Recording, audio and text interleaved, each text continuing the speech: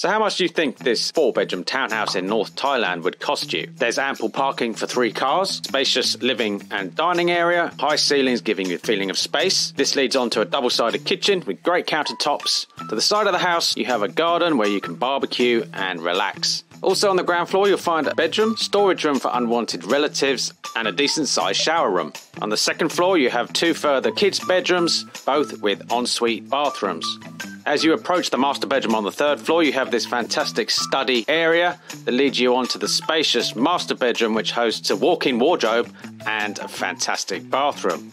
On top of this, you get use of the complex pool and gym. So, how much for all this?